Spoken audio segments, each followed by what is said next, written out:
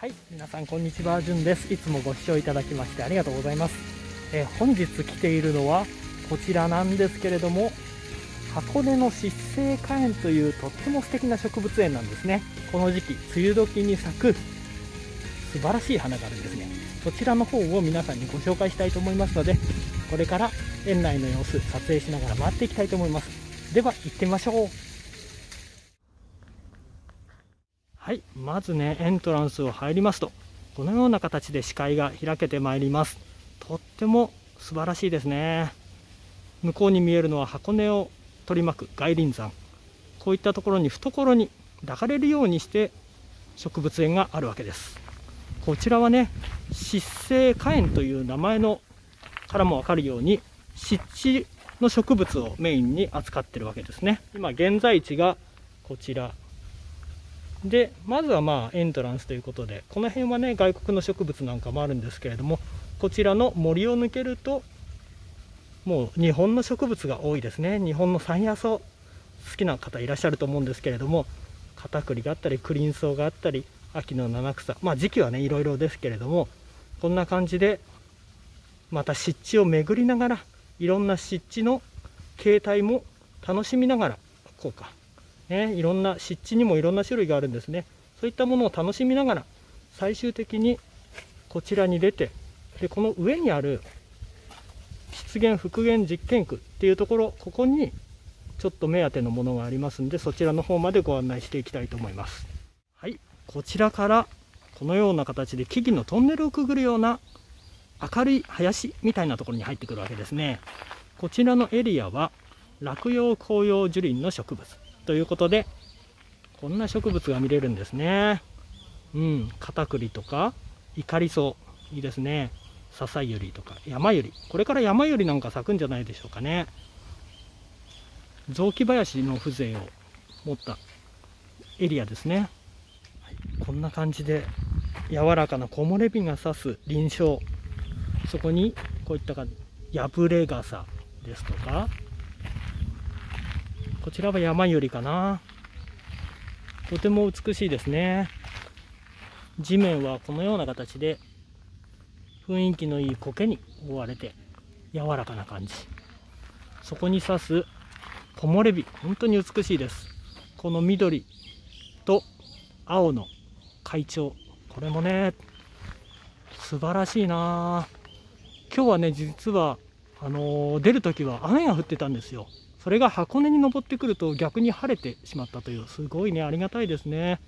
でここのね、一見雑草に見えますけれども、こういったものも本当に綺麗で、こうやって見ると、やっぱいいですね、こんな庭が作れたら最高だななんて思うんですけれどもね、美しいですね。はい、こちらの上にあるのが紫式部なんですね。ここに花が咲こうとしてますけれども、紫式部も自然界ではこれぐらい大きくなっちゃうっていうことですね。ここはまだ木があることで光が少なくなってます。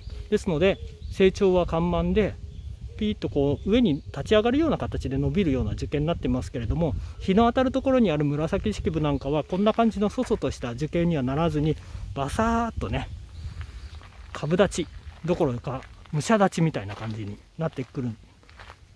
樹形になってしまいますけれどもこんなところもねこの環境による樹形の変化こういったものも勉強になるかなって思います。本当にこういった植物園は管理が本当にうまいなと思います。これこういうところは植物を分かってないとなかなかこんなに綺麗に管理できないと思いますね。何を抜くのか除草なんかにも関してもねそういったことも分かってる方がやらないとね、なかなかね、難しいところはあると思います。はい、こちらに花がありました。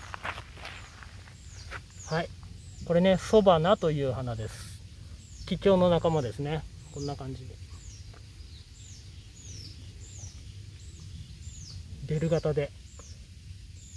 いいですね。はい、先の方に視界が開けてまいりました。あちらからね、湿原エリアが始まることになります。で、その前にこちらにある木、ヒメシャラの木ですね。皆さん、あの、動画でね、昔、剪定をお届けしたんで見た方もいらっしゃるかと思いますけれども、こんな感じの木なんですよ。今これでも10メーター超えてると思います。こちらも山帽子。こういった木も自然界ではとても大きくなる木です。自然な樹形が美しいんですけれども、この樹形を庭に持っていって作ろうとすると、庭に収まりきらないですよね。そういうことを考えていただくと、やっぱり剪定ってどうしても必要になるんです。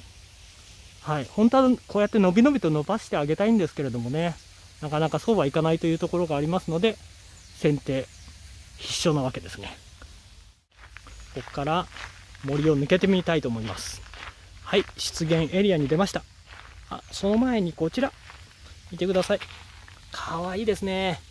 これね、松本千の今の時期しか咲かないですね。なかなか普通のお庭ではね、育てにくい植物だと思いますよ。松本千のね、はい、なでしこの仲間になります。可愛い花ですね。この緑の中にこの補色の赤というか朱色があるっていうのは本当に目立ちますね。夏って感じの花です。こちらにね、姫百合が咲いてます。本当に発達するような色でね、鮮やかで、それで花のサイズも小さくて可憐で可愛いんですけれども、この花を見ると思い出す歌っていうのがあって、えー、確か万葉集だったと思うんですけれども、夏の野の茂みに咲ける姫百合の白えぬ恋は苦しきものそっていう歌なんですね。誰が読んだのかちょっと忘れちゃったんですけど、意味としてはね、夏の野の茂み、草むらの中に咲いている姫百合のように私の心はあなたを恋したっているのに、夏の野の草によってその恋心が知られない、あなたに知られないのが何とも心苦しい、とても辛いんですよという、こういったね、人の気持ち、こういったものを植物に託して読んでる。そういった、なんというか万葉の歌人たちの、この自然とか植物と一体になったね、何とも言えない趣深い歌だなと思います。そういった感じで日本人の感性ってものをとても美しいなって思いますね。いいですよね。そんなことも考えるとね、やっぱり山野草いいななんて思っちゃいますね。はい、こちらはね、白い花。虎ノの仲間でしょうかね。美しいですね。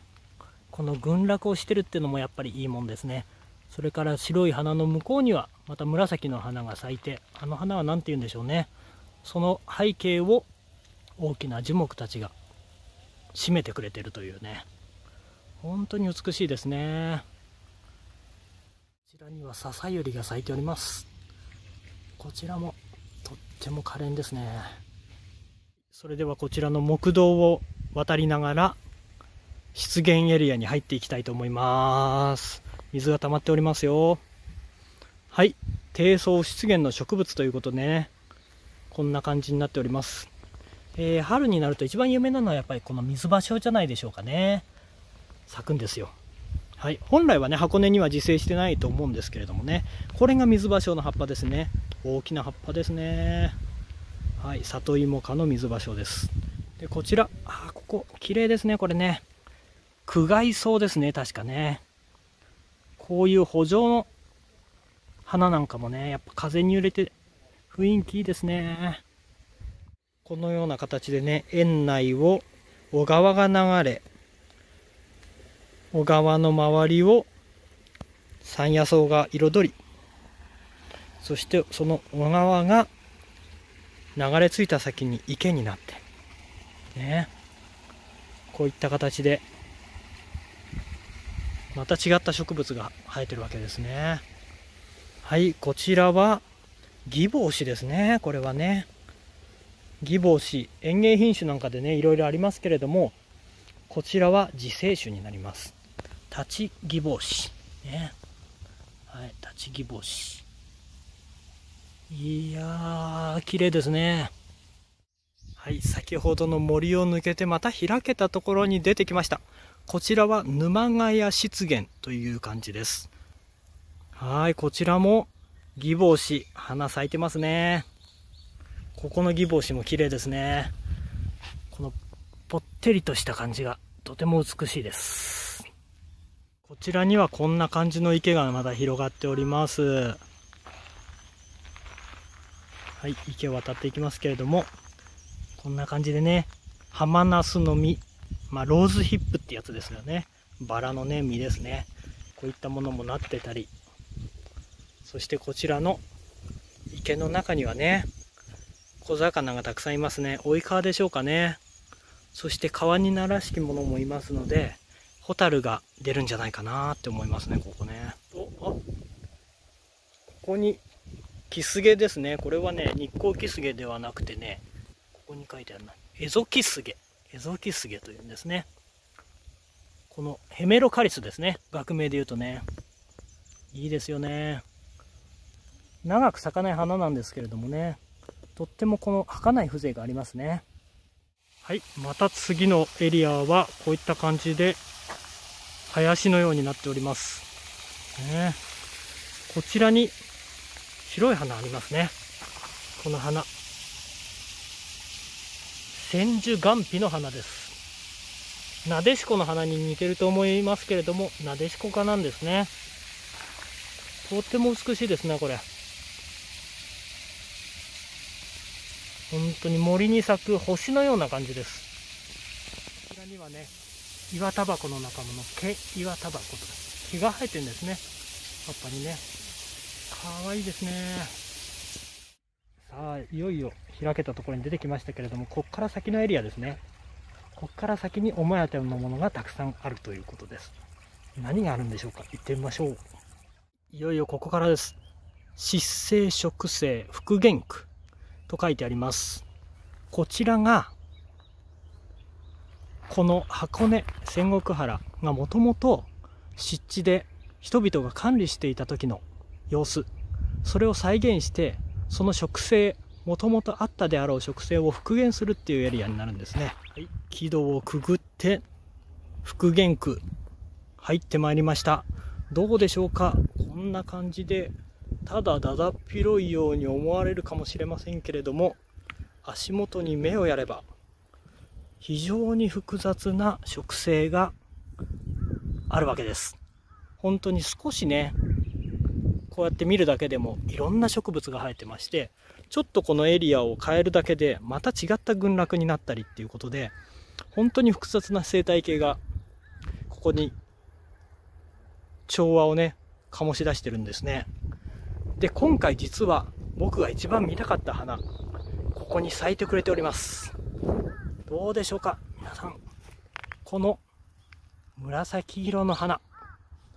形は花勝負に似てますよね。あやめにもちょっと似た感じはあります。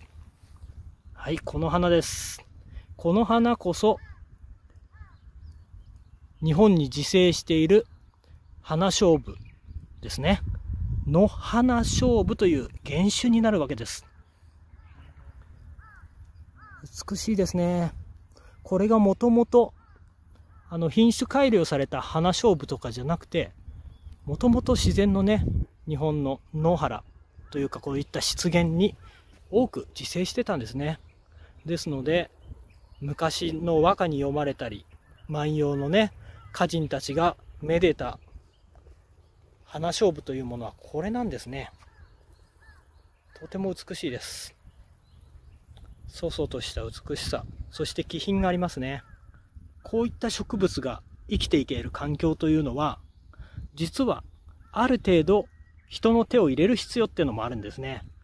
そこが面白くて、この湿原、こうやって草丈が低い植物が生えてますけれども、奥の方を見ますと、足の原なんですね。まあ、日本もともと足原中津国って言われたぐらいね、湿地があって、それで足が生えてた国なんですけれども、そういったところ、この植物たちのところは、手を入れているから足があんなにならないんですね。それはどういうことかというと、ここ、冬はね、脳を焼いちゃうんです。脳を焼くことで、一回背の高い植物を駆逐してそれで春芽生えてきたものがこういった背の低い植物なんですねそれを昔の人は生活の中で取り組みながらその生活の必要に応じてやってたってことなんですね。それによって人が手を入れることによってこの美しい景観それから多様な植生多様性っていうことですよね。こういったものが生み出されてるってこと。自然だけではこの多様性を生み出せない。人の手だけでも生み出せない。自然と人間の共生共存まさに緑と共にあるっていうことを体現したエリアなんじゃないかなって思いますね。そういうことでとてもここは僕にとって大切なエリアです。こんな感じで素敵なエリアなんですけれども今の時期は野花勝負の紫それから腐れ玉っていうね黄色のね花。そしてこの辺を見るとこれ柿なんでしょうかね。こういった貴重なね黄色。こういった形の今は紫黄色系がメインですけれどもこれから時期が進みますと割れ模倣が出てきたりオミナエシが出てきたりそういった形で本当に劇的ドラマティックにこの景色が変わってきますんで本当に来るたびに楽しめると思いますよ。本当に美しいなって思います。本当おすすめですここは。